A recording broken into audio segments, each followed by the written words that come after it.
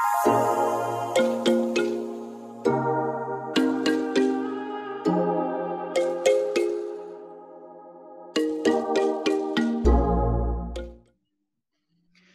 pessoal, eu sou o Fábio Scala do For Africa. Bem-vindo a mais um painel do In for Africa, uma plataforma para conscientização no combate ao coronavírus. Hoje eu vou ter o prazer de conversar com três empreendedores que, coincidentemente, são três grandes amigos meus. A Virginia Macuyani, que é Managing Partner da Embondeiro Advisory, uma empresa de consultoria na área empresarial em Moçambique. O Caló Pascoal, que é partner da Carrazedo e Pascoal Advogados em Luanda, Angola e a Mod Maliani, que é a fundadora, presidente do grupo ICEF, que é Ideias e Conceitos e Empreendedorismo Feminino, lá em Maputo, em Moçambique. Meus amigos, sejam bem-vindos, já estava com muita saudade de vocês.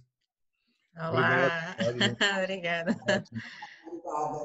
Vamos lá. A questão do coronavírus vem impactando uh, todos os aspectos da sociedade e seguramente os, os empreendedores são talvez aqueles que estejam sentindo esses efeitos de uma maneira mais explícita.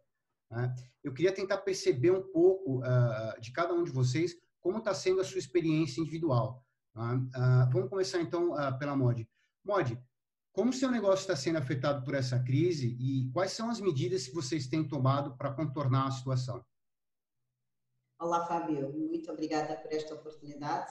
Uh, dizer que estamos a passar por um processo um bocado difícil, e como estamos ligados à área de empreendedorismo feminino, eh, virado para finanças e agroprocessamento, capacitação, o que está neste momento a preocupar-nos é que as fronteiras estão fechadas e trabalhar com o setor informal.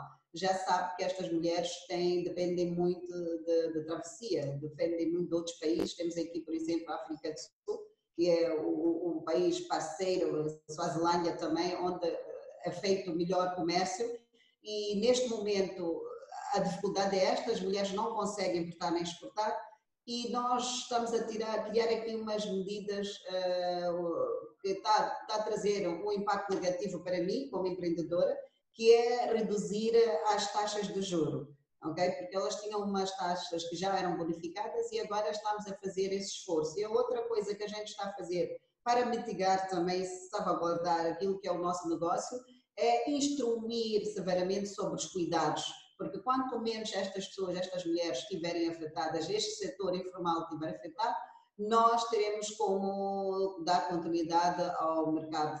Então, é, esta é, de forma resumida, é, é, é como nós estamos nos a portar neste momento no mercado.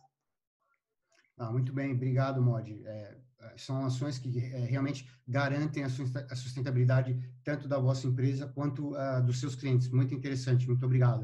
Uh, não, Caló, uh, Angola já estava passando por uma transição positiva, mas bastante complexa antes que, que, que, chegasse essa, essa história do Covid. Como é que a sua empresa foi impactada e, e como vocês estão respondendo a esse desafio?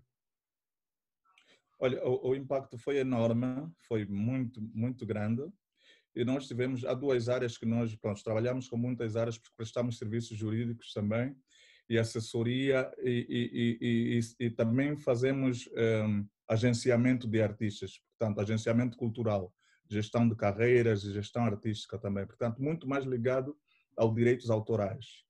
É, para estes, para, para, para, para, para o pessoal, os nossos clientes que, que trabalham, que, que estão ligados no âmbito dos direitos autorais o impacto foi logo uh, muito grande, por quê? Porque fecharam-se as salas de espetáculos, os músicos fecharam-se as salas de teatros, as salas de cinema, as discotecas, os clubes, tudo, todo, todo, todos os locais em que os músicos pudessem apresentar os seus trabalhos e, e, e ganhar algum, algum dinheiro e, e, consequentemente, pagarem os nossos serviços prestados.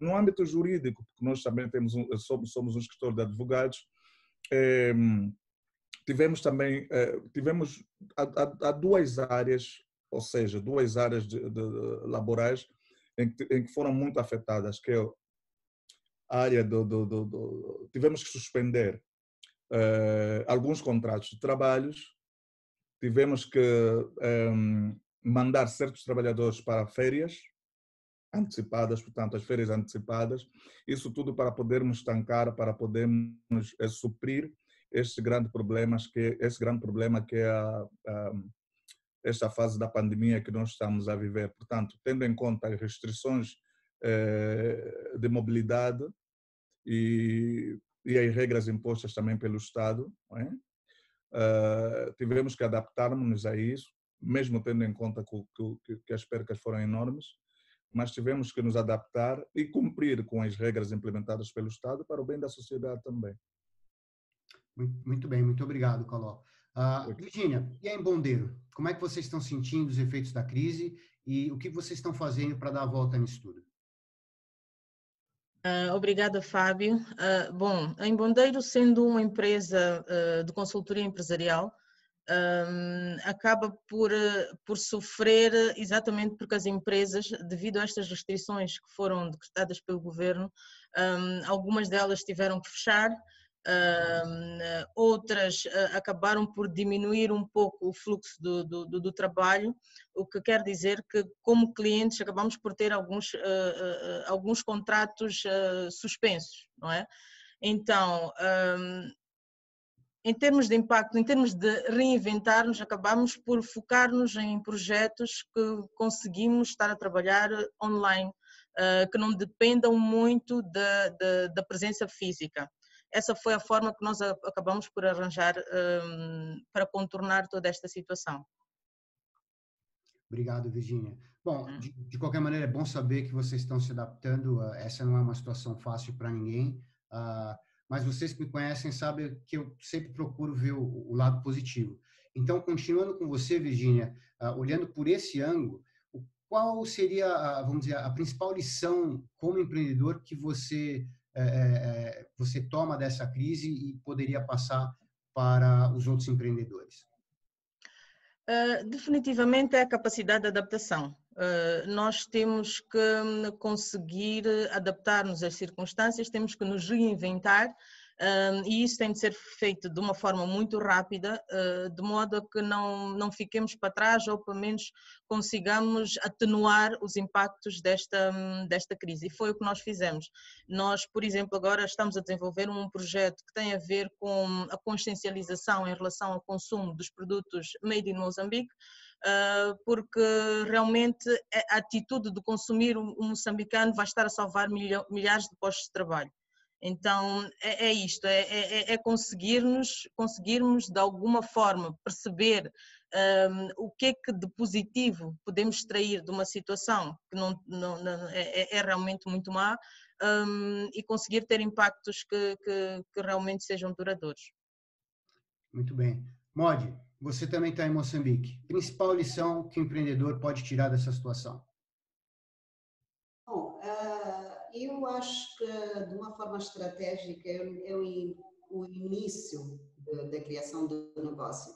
Se formos a ver, Fábio, eh, nós não temos capacidade de prever eh, as coisas naturais que vão acontecer. E hoje vou falar na primeira pessoa, a lição que eu, que eu tive, e gosto de dizer assim de forma mais alegre, é que quando a gente faz um plano de negócio, não é? E, e, muitas das vezes a gente faz o plano porque a gente quer abrir uma empresa, mas depois pegamos no plano e guardamos. Então, há uma necessidade de começarmos a prever contingências, porque hoje o estado de alerta, como a gente está, o Estado, seja o Estado, ou seja também a, a, a, algumas empresas de seguro, vamos lá assim falar, nestes casos não terão condições, não é? De trazer aqui soluções. E hoje estamos a discutir com o Estado, porque precisamos que o Estado que se decida ou cria um fundo para apoiar, mas eu como empreendedora já comecei a perceber que se eu quero empreender, eu tenho que me precaver, eu tenho que criar fontes de contingências para qualquer uh, caso que venha a acontecer. Então nós não podemos como empresários esperar que aconteça alguma coisa. Então, há uma necessidade de revermos este conceito de empreender, que é para não estarmos a passar por esta situação que estamos a passar hoje. Então, outra lição é que na época difícil, quer dizer que é um momento certo para você pensar, analisar e criar outras estratégias de implementação, como também reavaliar se realmente a área da atividade é certa ou não e começar a promover uh, outras ideias. No meu caso, nós começamos a criar aqui capacitação de agroprocessamento, que é algo que vai beneficiar e dar continuidade à produtividade. Por quê? Porque vimos que soluções de prestação de serviço não vai trazer eh, um grande impacto sem haver um produto final. Então, agora saímos só de capacitar, que é a parte da área de educação financeira, começamos a ir para o campo, ok? Agora estamos a criar uma cadeia de valor que é para valorizar algo que vai ser sustentável para acomodar e poder também trazer aqui um, conforto à sociedade, porque eu digo barriga cheia leva a mente a, a praticar, ninguém pensa bem eh, de, de, de, barriga cheia. Então, neste momento, a, a lição que eu tirei como empresária é, é, é focar-me em algo mais inclusivo, algo que possa impactar e, e, eu própria tenho a responsabilidade de salvaguardar uh, aquilo que são os princípios e normas internas da minha empresa, para, que é para poder garantir a sustentabilidade, porque menos uma empresa, como disse a Virginia, as empresas estão neste momento a, a algumas a, a, dar aqui, como é que eu não entendo muito disso, mas já estão a pôr é, caso de falência, estão a declarar falência, então eu acho que isso é muito negativo, porque nós não sabemos quanto, quanto tempo isto vai levar, mas eu acredito que é a oportunidade certa para nós nos reinventarmos, com certeza. Muito bem, muito obrigado, Modi. Caló, sua principal lição, uh, no seu ponto de vista, principal lição para o empreendedor? Olha, uh, eu penso que devemos, eh, para mim, uma, das principais, se não a principal lição, é, é direcionarmos todo o nosso trabalho para um, o, o, serviço online, para a tecnologia, para o mundo digital. Embora já estávamos a entrar uh, para o mundo, para o mundo, já estivéssemos a entrar para o mundo digital antes mas penso que agora os governos, o, o Estado deve apostar e criar mais, mais, mais uh, possibilidades uh, do empreendedor ter uh, e, e, com muito, com muito mais eficácia o serviço online, a internet, a disponibilidade da internet, porque um, um, uma, uma outra grande lição é poupança aprendemos muito com isto que devemos poupar, poupar, poupar, poupar, poupar sem cessar. Principalmente num país como Angola, que há bem pouco tempo atrás os dólares estavam aos montes, os dólares apanhavam-se no, chão. É, já estávamos a passar por uma crise difícil. Infelizmente, há, há países que já viveram a crise nos anos 2005, 2006, 2007 em Angola, a crise, crise só chegou, ou pelo menos os efeitos da crise no povo, só chegou, penso que em 2016, 2017, 2018. Ninguém contava com uma situação dessas. E essa situação vem por cima da grande dificuldade, e como o Fábio eh, frisou muito bem, estávamos a viver um, um, um, um período de transição, portanto, é eh, embora o partido eh, seja o mesmo, mas mudou o, presidente, temos um novo presidente, estava se adaptar, estava, o povo estava a adaptar-se a essa nova realidade e surge esse bom com a baixa do petróleo, já imaginou qual é, qual é? Eu acho que nesse momento nós temos que parar, sentar e refletir qual é o, o verdadeiro impacto que isso nos está a trazer. Porque lição, lição, lição, lição propriamente dita ainda não conseguimos tirar, porque está todo mundo em, em debandada, ainda estamos Sim. Ainda não sabemos o que é que aconteceu, porque se esperamos acontecer algo pior que o coronavírus, meu Deus, acho que é mesmo já o fim do mundo, não, não há hipótese. Então só temos que apostar mais na, na, na poupança, tentar poupar mais e tentar apostar em outras áreas. Chega um momento em que empresas que só trabalhavam com serviço físico vão ter também aí de um lado alguma área uh, para o trabalho digital, que, que quer dizer, um, um, meio de subsistência, né? qualquer coisa que, que, que, onde a empresa pode tirar um bocadinho de alguns recursos para quando acontecerem situações como esta, a empresa, portanto, a empresa física desaparece, mas a empresa digital continua e vice-versa. Poderá acontecer também um dia que a internet desaparece, isso hoje tudo é possível, vai voltar a ser o serviço o físico a dar é, é, a capacitar a, a, capacitar a empresa. Portanto, estamos todos de boca aberta, estamos todos a ver o que, que é isso, o que, que é isso, as mortes constantes, que estamos a passar uma fase muito difícil. Mas vamos sair desse, vamos sair dessa, isso eu tenho a certeza que sim. Isso aí, muito obrigado. Bom, certo, ainda nessa linha, o empreendedor tem feito a sua parte, sem dúvida. Temos aqui três grandes exemplos. E nós temos visto uh, nos mais diversos países uh, diferentes medidas de apoio ao empreendedor. Eu queria saber de vocês, muito rapidamente, o que vocês acham que as autoridades poderiam fazer mais para ajudar o, empreendedor? Talvez num, uma ideia que você gostaria de passar, muito rapidamente, para ajudar o empreendedor. Uh, Mod, qual a sua ideia? O que, que você faria?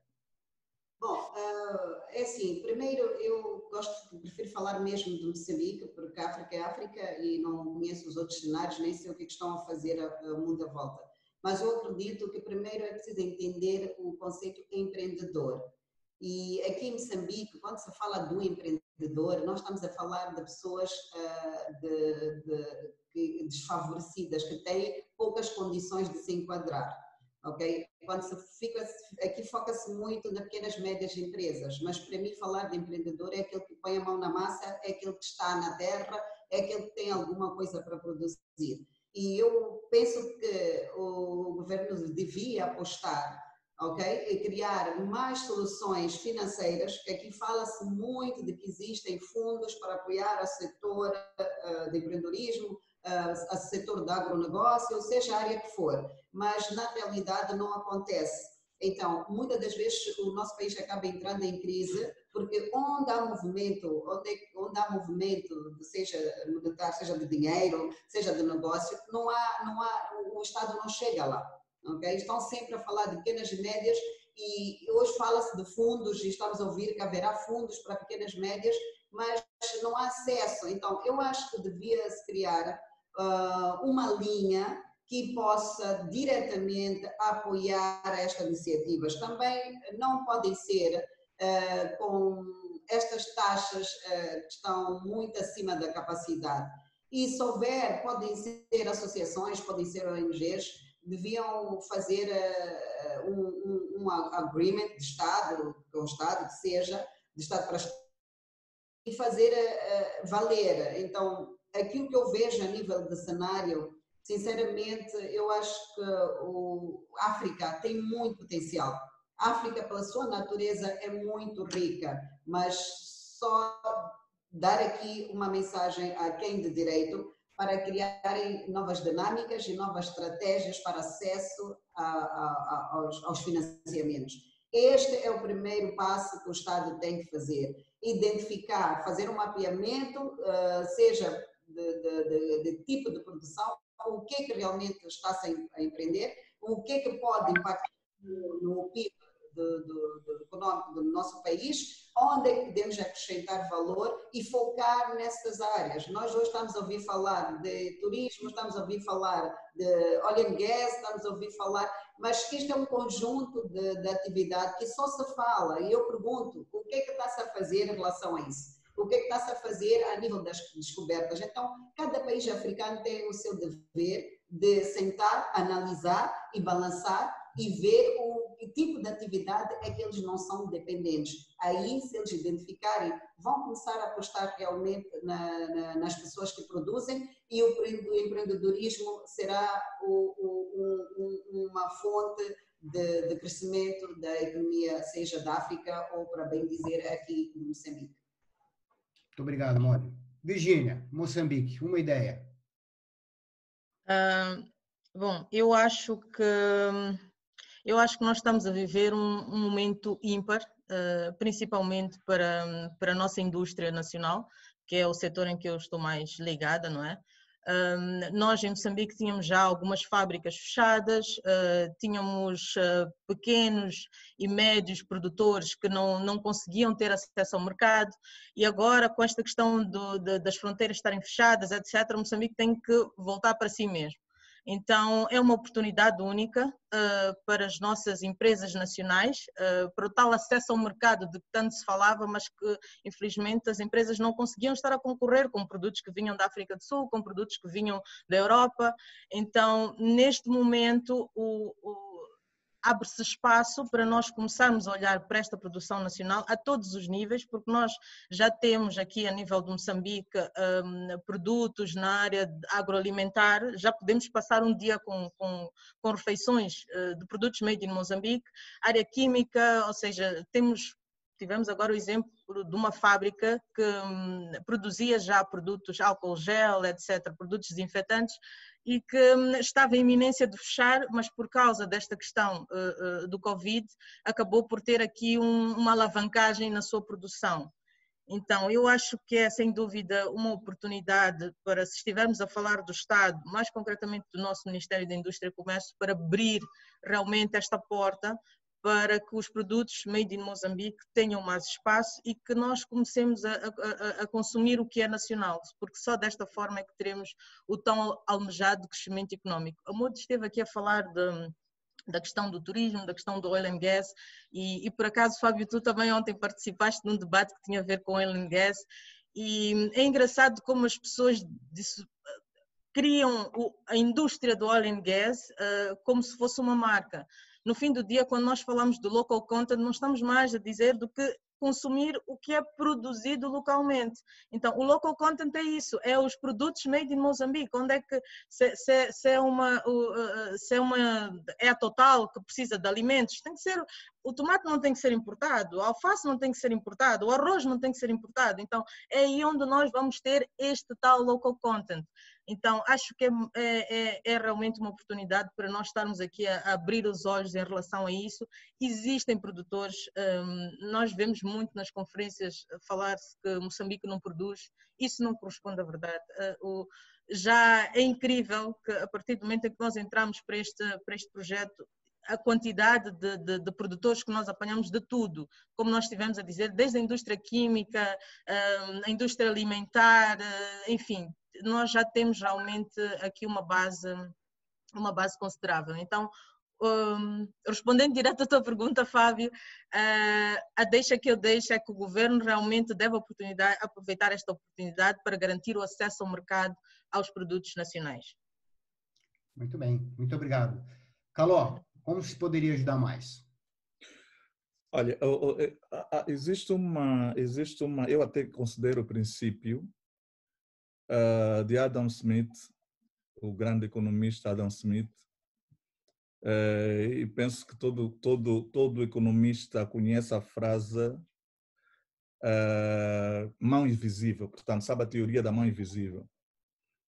quando Adam Smith fala sobre a mão invisível, essa mão invisível que Adam Smith relata no seu, penso que é no livro Riqueza das Nações, se não estou é. Ok esta mão invisível que Adam Smith faz, faz referência, o África, em África, África completamente, e eu penso que talvez com exceção África do Sul, ignora este princípio. Por quê? Porque os nossos, os nossos, o governo potencializa o setor público, mas não, não, não, em África não potencializa o setor privado. E depois surge uma conversinha zita de que não, é, tem o senhor fulano, tem empresa tal, mas quem é o senhor fulano? É general? Ou é, ou é ministro? Ou é, portanto, ele potencializa aquele que está dentro do setor público, aquele que faz parte do governo. Mas se potencializasse o setor privado, e é nessa altura onde vê-se quem é quem, porque quem está a dar as comidas, quem está a levar a alimentação às pessoas, quem está a fazer ainda alguma coisa, é o setor privado. Porque nessas alturas, quando, quando, quando você vai dar, vai, vai, investir no futuro, investir no, no, E quando me refiro ao setor privado, não estou a falar em grandes empresas, nos pequenos, pequenos empreendedores. Tens que criar, tens que, tens, que, tens que diminuir a burocracia no acesso ao crédito que existe, porque é, ainda é um, é um sistema muito burocrático. É, o governo conhece quem é a pessoa, qual é a empresa que quer um apoio, que quer um crédito. Sabe onde vive, conhece o historial dessa pessoa, mas passa a exigir alguns, alguns qual é o termo certo, os requisitos ou os pressupostos para o acesso ao, ao crédito são, parece, parece de pessoas desconhecidas. Ele pede fiador a uma pessoa que quer empreender. Eu se quero empreender e está a pedir um fiador, então peço já diretamente ao fiador que me empreste dinheiro, no mínimo. Então acho que essa altura que o governo tem que apostar mais é, e dar mesmo, dar, não é, não é tirar da, da do, do, formal, porque tem muitas promessas aí. O governo, o governo tem sempre dito que vamos dar, é, entramos com a layoff e vamos dar, vamos pagar X% dos trabalhadores e tal, e esses pagamentos não estão a sair. Isso tudo está tá na folha, é bonito, os decretos foram lançados, mas na prática, materialmente, não se vê isso. Então, acho que nós temos que passar a ser um bocadinho mais sérios, mais organizados. Os africanos tenham eu consciência que o africano não depende, não depende de si só. O africano, os governos da África dependem da Europa, da América. Hoje está a entrar também a China, ok? Então, para não entrar muito nesta, porque isso já tem muito mais a ver com política, mas um, acho que é preciso algumas pessoas, pronto, também quem fica muito chateado acaba no chão, é, mas os nossos governantes percebem o que é que eu quero dizer. Então tem que haver coragem, mas tem que haver coragem, porque alguns deram a vida por essa por essa pátria que são as nossas as nossas as nossas terras, os nossos, o nosso continente. Mas o mínimo que puderem fazer, se puderem apostar no setor privado, seria ótimo, espetacular. Começar a dar dinheiro aos investidores, começar a aprovar os, os, os programas dos jovens, começar a apostar na massa cinzenta dos jovens, na capacidade dos jovens e buscar os nossos quadros que estão espalhados pelo mundo. Porque nas grandes empresas na China aparece um moçambicano, aparece um angolano. É só questão de investigar bem. Se na seleção francesa apareceu angolano, apareceu maliano, apareceu... é verdade. Temos que buscar essas pessoas e buscar esses, esses, esses nossos quadros que estão espalhados pelo mundo. Beleza, muito obrigado, Caló. Olha, nós estamos ficando uh, uh, praticamente uh, sem tempo, mas eu não gostaria de terminar essa sessão sem pedir que cada um de vocês me desse uma visão em uma frase sobre a seguinte expressão: África após o Covid. Virgínia. É crescimento garantido. África, é, África, numa frase, olha, Fábio, é, numa, frase, numa frase é um pouco tricky, né? numa frase é um pouco tricky, mas percebi que é para diminuir coisa. Mas é assim, eu acho que hum, é realmente uma oportunidade eh, para a África. Eu falei aqui de Moçambique, mas também, sem dúvida nenhuma, que a África tem que começar a olhar para a África, nós não temos, não consumimos produtos que são feitos na nossa vizinhança. Uh, uh, falo de, de, de, produtos de Angola, falo de Malawi, etc. Então, acho que devemos aproveitar esta oportunidade para criar a tal verdadeira, verdadeira plataforma de comércio intra-africano. É. Muito bem, obrigado. Modi, em uma frase, a África após o Covid-19. Uh, eu vou deixar aqui um slogan que é muito meu. Primeiro, lembrar que África é um continente muito rico. Segundo, unidos venceremos. Terceiro, todo conhecimento pode se transformar em uma ação. Então, essa, essa é a minha mensagem para o continente africano. Faça uso do seu conhecimento temos que fazer e acredito que unidos nós venceremos. Como disse o Caló, somos dependentes sim, mas acredito que depois desse discurso todo vão perceber que aprendemos grande lição e esta lição tem que prevalecer para a positiva. Muito obrigado. Caló, uma frase. África após Covid-19. Será olhada de forma diferente, será olhada com outros olhos independentemente de, de haver seriedade e transparência nos números de casos de Covid, independentemente disso, não estou aqui para julgar ninguém, mas pelo menos na minha família ainda não teve mortes, então isso é bom sinal. E aquelas pessoas que perderam seus entes queridos, demos a maior força, melhores dias virão. Mas a Europa, a América, a, a Ásia, há de olhar a África com outros olhos. Sabe por quê, Fábio? Hum. Porque o Covid nos ensinou que somos todos iguais. Grande mensagem, grande mensagem. Obrigado. Uau, se depender desse painel, nós vamos ter uma África e um mundo ainda muito melhor após essa crise. Muito obrigado, Mod, muito obrigado, Caló, muito obrigado, Virgínia. Foi fantástico, muito obrigado. Obrigado, estamos juntos. E para vocês que estão assistindo, uh, uh, eu queria agradecer o apoio uh, que está sendo passado por vocês para o nosso uh, Info Africa. Lavem as mãos, usem máscaras, respeitem as regras locais distanciamento social. Essa luta é nossa e o sucesso depende de cada um de nós. Muito obrigado. Nós todos somos In for Africa.